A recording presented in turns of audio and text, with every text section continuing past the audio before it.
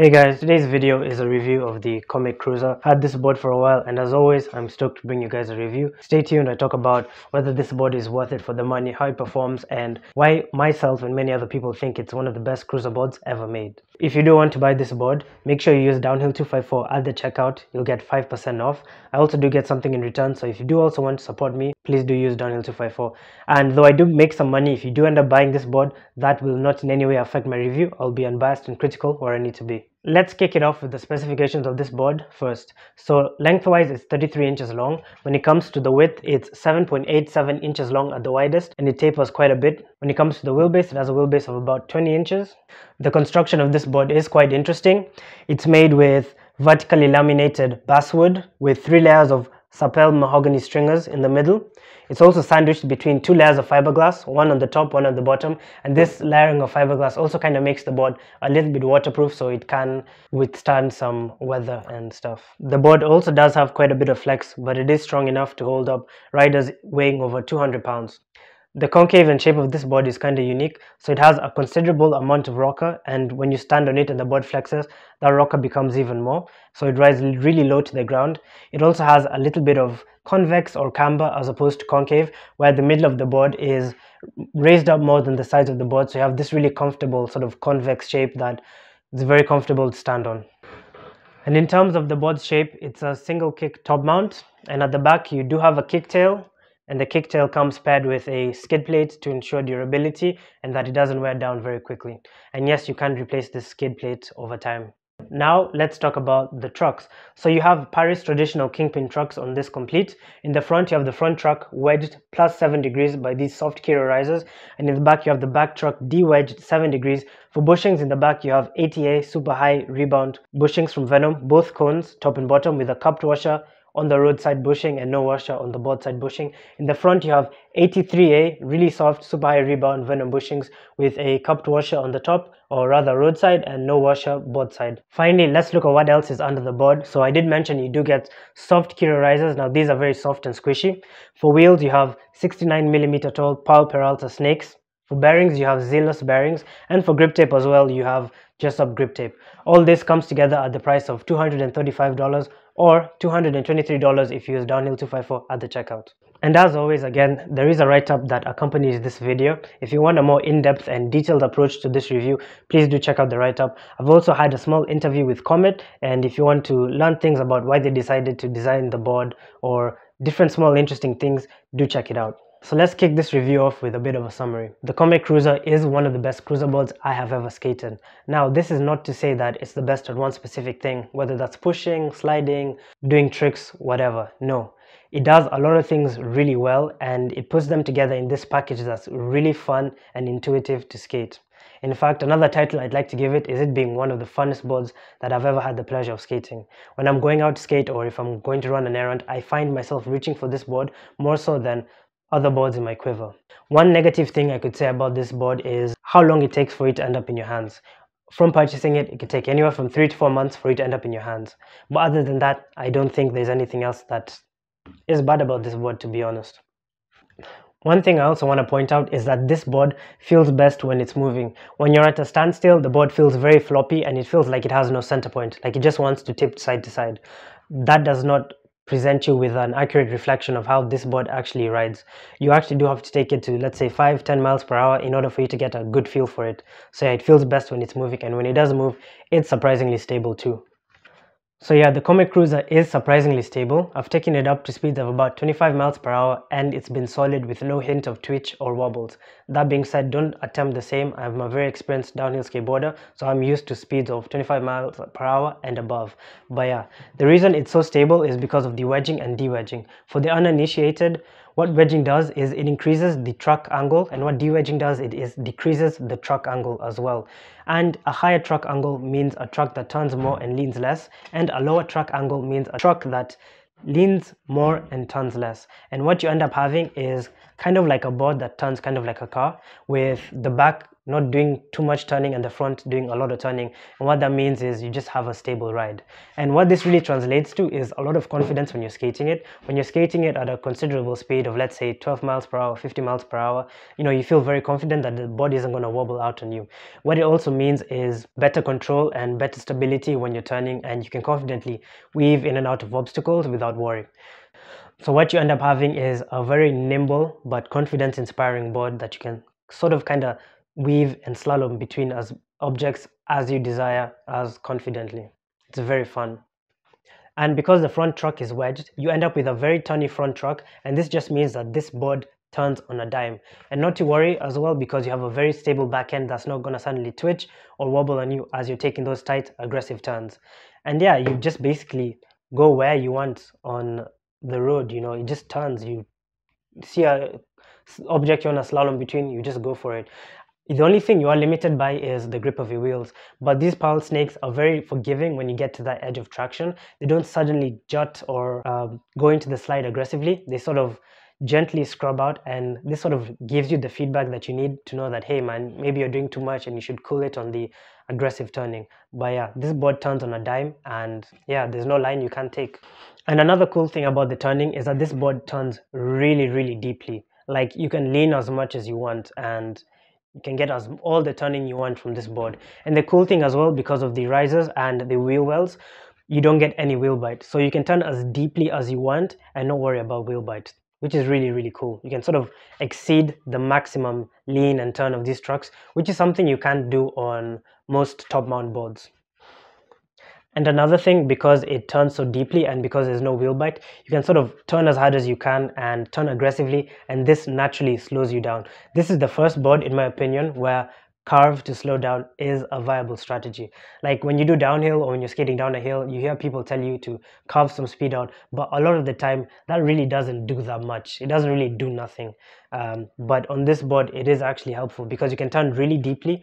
Like if you're not going too fast, you can sort of turn deep enough that you kind of slightly come back uphill and you sort of get the wheels to scrub out. And those two things naturally slow you down more. So yeah, this is the first board that carve to slow down is actually a possibility. Hey, maybe if you have a surf skate curve to slow down is also a possibility, but yeah.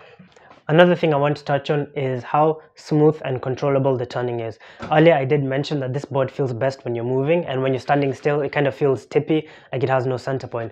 But surprisingly when you are skating you do get really smooth control turning and I don't really know why that is but this board does exactly as you tell it to do. I had no issues with control and yeah I do also think the fact that high quality aftermarket bushings have been used does aid in the smooth and controlledness of the turn. This board also rides surprisingly low to the ground. It has a lot of rocker and has quite a bit of flex. So when you are skating, you are just a few inches off the ground, not much. And what this means is that this deck is easier to push and it's also easier to foot brake and that lowness to the ground also sort of lowers your center of gravity and makes the overall ride more stable. So yeah. Another thing I was really surprised by is how lightweight this deck is. And I think it's lightweight because of the vertically laminated deck. Usually horizontally laminated decks of this size are quite heavy. But yeah, this deck is quite lightweight. And what that translates to is when you're pushing, it accelerates very easily. It's easy to get going from a stop. When you're carrying it around it's all it's quite lightweight. It's really easy to carry it on your hands and your arms don't get tired out very quickly. Finally in theory it should also be easier to ollie because of how light it is. And yeah i guess it is. It is a bit difficult to ollie and more on this later but yeah the lightweightness is quite nice. Another thing that surprised me is how well this board handles rough surfaces and road imperfections. Like this board does really well over like pebbles over like rough patches in the road over cracks. Like it really absorbs them and feathers out the feel. I was really really surprised by this. And i think the reason being is the soft 75a snakes the flex of this board and the soft risers as well. All these things work together to dampen the harshness of road vibrations and just really give you a comfortable ride. And what that translates to is yeah a comfortable ride plus you're able to ride this board for longer without really your feet getting uncomfortable or you know getting cramped because of the roughness of road vibrations. And yeah you can also ride different surfaces more comfortably too. Yeah and you also don't have to rely on getting really big wheels you know just to feel comfortable like skating in a city environment or whatever. Next let's talk about how this thing slides. This thing slides really really well. It's not the best board for sliding out there but it does do a good job of it. And another thing that impressed me is the Powell snakes. Powell snakes are easily the best longboarding slide wheel out there. They slide like a dream. When they get to that edge of traction they break into the slide very smoothly and they make this satisfying hissing sound that I pray if you do get this board that you do get to experience that sound. It's pretty satisfying not gonna lie. But yeah altogether this board slides really really well and that's thanks to the Powell snakes. And if you just turn deeply enough you can sort of get them to scrub out and scrubbing out means you've exceeded the limits of traction of the wheel and they do start sliding. So yeah if you can't turn deeply enough you can't get these things to break traction. That being said i did have a bit of an issue holding out really long slides on this board and more on that later some tips or some things that I did to make sliding the cruiser feel easier. Now with this board, it felt more like I had to push the wheels out into the slide, sort of really dig into them and push my feet into it and my weight into it rather than just sort of kicking out the board and floating on top of it. No, I had really, for example, for toe sides, really push and put my weight into my toes to get the board to slide and hold out the slide and the same for heels. And yeah you know really sort of dig in as opposed to you know getting to that limit of traction and then kicking out. So yeah just keep that in mind. You kind of have to sit on those sort of pressure points you know if you're doing heel sides if you're doing toe sides and really dig in and push. And that really gave me the best results and I was able to do like fairly decent stand-up slides. I was quite surprised. This isn't a free ride board but I was doing like maybe 5, 10 foot slides, maybe even 15 foot sometimes. Next thing I want to talk about is the kick. The kick tail on this board is quite usable. You can use it to get down curbs and get up curbs. You can also use it to ollie, but I found ollieing this deck to feel a little bit weird, not gonna lie. Uh, it felt a little bit strange, but you can ollie it. I did get used to it and yeah, I do think what threw me off is just how long this board is. If you have never ollied before and want and are wondering if you can ollie on this board, I do think you can learn to ollie on it and yeah, but it will be different from a popsicle popsicle board and as always i will recommend a proper popsicle board if learning to do tricks and ollieing is what you have in mind let's briefly talk about the quality components that come with the cruiser now all the components on this board are really high quality if you check out the specification section yeah you know what they are but they are really high quality and are some of the best venom bushings are the go-to for anyone looking to pick up bushings or stuff like that Powell Snake, some of the best in the business. Pyrex, some of the best as well. And yeah, getting high quality components. And another thing is the Comet Cruiser works perfectly out the box. As soon as you get this board, you can ride it without having to adjust a thing and absolutely enjoy it. And you could also ride it for months and months and probably even years without ever having to replace any components. Maybe the bearings, if they do get rusted out from you riding in the mud or riding over a puddle or riding in the rain whatever it is or maybe replacing the skid plate but yeah it works great out the box and you don't have to replace or adjust anything i do know some people might feel a little bit confident from tightening the trucks but i don't recommend you do that i recommend you get used to the board as it's made to ride perfectly just outside the box just out the box just outside the box just out the box. Okay, I'm going to include a price breakdown of all the components individually and the deck as well. Now I had to estimate the price of the deck, but everything adds up to about 300 or $312 or around that sort of. So the $235 that you're paying is very reasonable and you're getting great value for your money.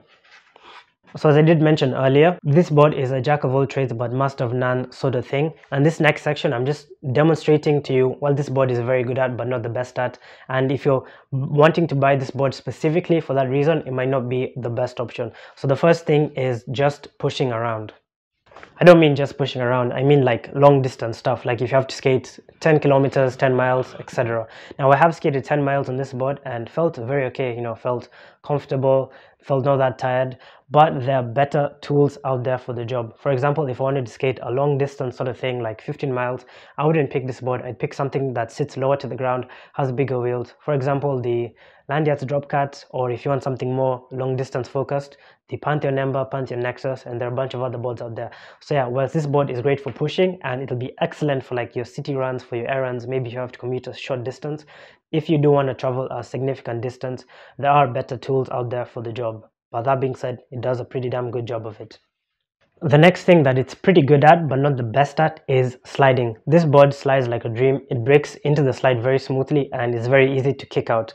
That being said, if you do want to progress with your sliding and you know be able to go 30 miles per hour down the hill and do a Coleman slide or a pre-drift into a corner, this board isn't necessarily the one for it. If you just want to goof off, maybe even learn some slides and just have a good time, this is a great option. But if you do want to seriously learn how to slide and progress as a downhill skater, then this isn't the board for you.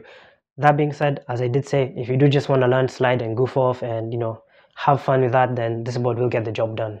Lastly, something that it's good at but not great at is ollieing and do, doing tricks. So you can ollie this board, you probably can do some tricks, you can probably like do some pop shoves and stuff like that, but it's not the best for doing tricks. If you seriously want to learn how to do tricks, then I recommend picking up a proper popsicle board.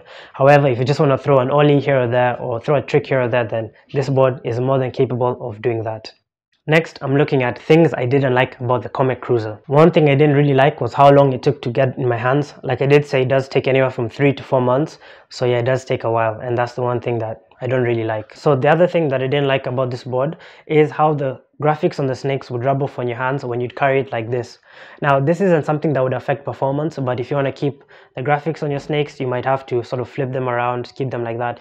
But the graphics on these wheels do come off and yeah but it doesn't affect performance and you know it's not really something to think about but it's just something i think i should point out to you guys. As you can see at the back the graphic is still kind of fresh. It's not as worn because i don't grab the back like this and it doesn't have the opportunity to rub off in my hands. Next up i have some questions from some instagram users. The first is is this thing comfortable for skating long distances? I'd say yes. For distances less than 10 kilometers this thing can get the job done. And if you're up for the challenge you can even do distances slightly longer than 10 kilometers. The next question is can you learn tricks on this? I'd say yeah you can comfortably learn to ollie on this and maybe even one trick or two. To pop shove maybe a boneless or something like that but it is limited. If you do want to learn tricks properly i always recommend picking up a proper popsicle board rather than using a cruiser or a hybrid board. Next question is is the comet cruiser the ultimate quiver killer? My answer is no not really. It does a lot of things really well and i'd say it's a pretty pretty good quiver killer but not the ultimate quiver killer. I will always reach for niche specific boards if i want to get the job done properly. But yeah it does do a good job of that. Being a sort of good to great quiver killer. Next question is, is the Comet Cruiser good in city environments? And the answer to that is yes, here's why. It does a very good job of feathering out road vibration and road imperfections. It's very comfortable to skate. You can skate over pebbles, cracks, surface roughness with no issue whatsoever. It does have a kicktail so you can get down and up curbs fairly easily. It is lightweight so when you do need to carry it, it's very easy to carry around and doesn't tire your arm out at all. But i think the most important feature is how turny it is and how quick it is to turn. You can weave and slalom between obstacles and people and really sort of continue your ride uninterrupted. And if you're skating on the pavement this sort of feature is clutch. You can weave between people weave between signs weave between road imperfections and just basically keep riding. A big issue for me with city riding where there's a lot of traffic a lot of people is sometimes you have to stop riding because you know you basically have no path. But because of how turny this is you can sort of open up a path or find a path or find like a find room or whatever it is and you basically have more options. So yeah the comet cruiser is great for skating in the city. Next question is is the comet cruiser good for beginners? Answer to that is yes but beginners should also keep in mind that like i did say this board doesn't feel very nice when you're standing still. You do have to ride it and there is going to have to be a small sort of leap of faith. But when you do ride this board when it does get moving it does feel incredible it does feel amazing and you're going to have a great time next question asked me would i change anything about the comet cruiser? And no my initial answer to this was I'd do something to make the kicktail have a bit more pop so it was easier to sort of ollie the board. But since then i've gotten a bit more used to the board and can sort of kick it up more consistently and ollies feel a lot more natural on it for me. So no i don't think there's anything i would change. The next question is is the comet cruiser good for learning slides? And i'll say yes it is but as always there are better tools out there to get the job done and here's why i say the better tools. The comet cruiser doesn't come with coarse grip tape it comes with fine grip tape so when you are sliding it there is a chance your feet can slide off. And also a very narrow platform and that's not necessarily very comfortable for learning to slide. But yes you can learn to slide on it. Powell snakes slide very easily. This board breaks into the slide in a very smooth and controlled way and you can get to grips with it. Again i just want to reiterate if you do want to goof off just learn to slide just have a bit of fun yes comet cruiser excellent. But if you do want to get more serious with like sliding and going fast and going downhill then i will always suggest that you pick up a proper board built for downhill skateboarding and built for sliding Another question is, can you pump the cruiser? Answer that question is yes, you can pump the Comet Cruiser because of how nimble it is in the front and because of how locked in the back truck is. You can sort of gain speed from pumping and you can pump from sort of a standing still position and get the board moving to a considerable pace. I push faster than I can pump, but when I am tired, I do pump a little bit and yeah, it is really fun to pump this board and can pump up to considerable speed. The last question is, is the Comet Cruiser a good gift? My answer to that is yes, it is absolutely a great gift. If you buy this for a skateboarder, you know, someone who skates in the park who just wants a cruiser to cruise around, they are gonna love this thing. This is the best cruiser ever. Even if you get this for, okay, whoever you get this for, they're gonna love it. You have my guarantee. And if you, they don't love it, just like sock them in the face. Say downhill 254 told you to do that. No don't do that. But yeah it would make a great gift. Thanks to everyone watching this video. Thank you to everyone who subscribed so far. Big thanks to Comet for sending this board and giving me things at a discounted rate so that i could bring this review to you guys. Big thanks to all my patrons. And yeah if you enjoyed this review give it a like. Um i don't know. You do what you want bro but yeah hope it was informative. And if there's anything you want to add any other questions anything i missed out feel free to comment and let me know. You guys take care